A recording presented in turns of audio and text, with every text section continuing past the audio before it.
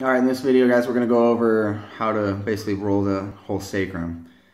And this is a pretty tender area, but it gives a lot of benefit, especially for females. Um, you want to pick a roller that you're comfortable with, obviously. You're gonna set it right between the glutes and ease into this one. That's why I have Sarah doing her legs down first on it, just to kind of relax and let it get used to it before we pull up into a stretch.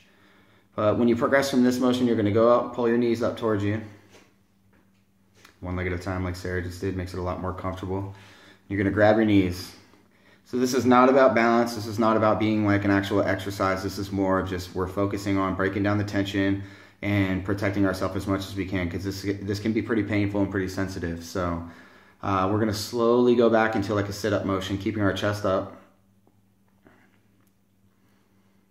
And I just urge everybody, go very, very slow, just be careful on this one you go back, you're not going to go back into like some super sit up, but you're going to get about halfway like Sarah's right there. And then you're going to come on back up. Now, like any rolling motion, guys, you're gonna you're gonna find those spots. So on the sacrum, it's gonna feel more like hardened bone area. So you're gonna find like the hardest feeling area that you have to sit up on top of, and then just be patient, wait it out, let that break down and soften up a little bit, and then continue to move forward through it.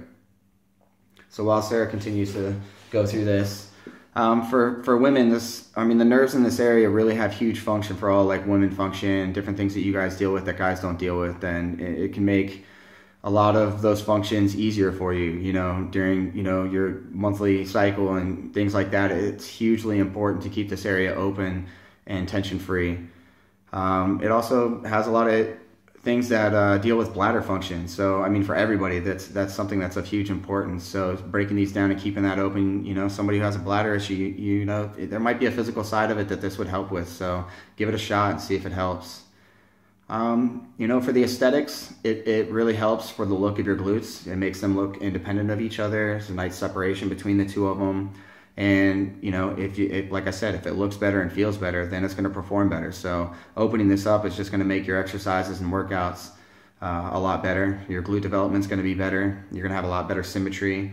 But most importantly, like I was talking about, this area and the nerve function in it is extremely important um, for making us feel good day to day.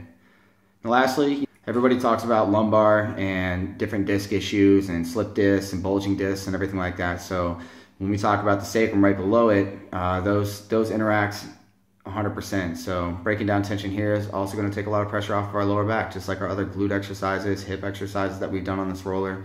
So keep this maintained, guys. It'll make you feel a lot better and make you perform a ton better. So that's it for this one. Thanks for watching.